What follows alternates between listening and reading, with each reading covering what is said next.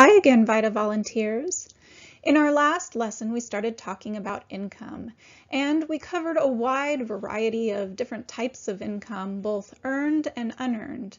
And some of those types included things like wages, interest, and dividends.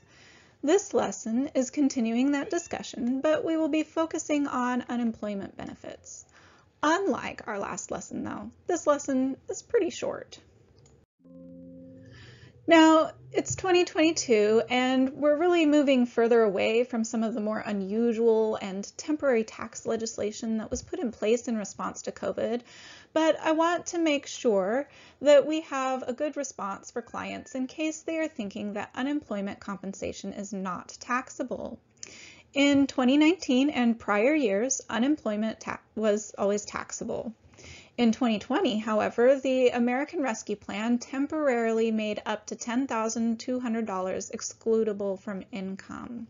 But in 2021, the unemployment benefits became taxable again, and that is continuing on in 2022, and we'll expect it to just keep going in years forward. Some of our clients may feel that it's unfair to be taxed when they have lost their employment, and of course we can empathize with that. Um, but our job is to ultimately help the taxpayer comply with the tax law. So the important things to remember about unemployment income are that it's taxable. It is also considered unearned income. And remember, we talked a little bit in our last lesson about the difference between earned income and unearned income and how earned income can qualify taxpayers for certain kinds of credits, uh, specifically the earned income tax credit.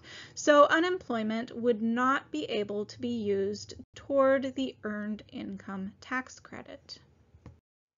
Unemployment compensation is reported on Form 1099-G. And Form 1099-G can be used to report a number of different government type payments, including the state and local refund. Um, but also you might note that uh, 1099-G comes in a variety of formats. Uh, state and local refund tends to come uh, on what looks like a postcard. And uh, sometimes uh, unemployment benefits come on what looks sort of like a letter, but you'll find somewhere on the form that it says that it's a Form 1099-G. But this is a standard version of what it could look like.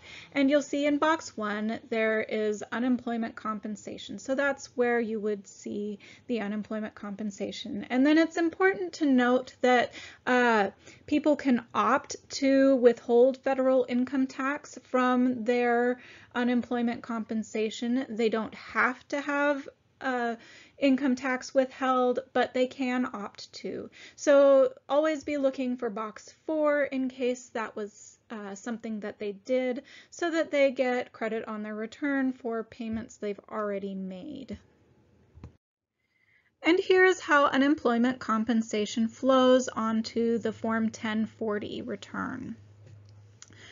So if you remember, the 1040 has three additional schedules that provide more detail. And Schedule 1 provides more detail about income and adjustments to income.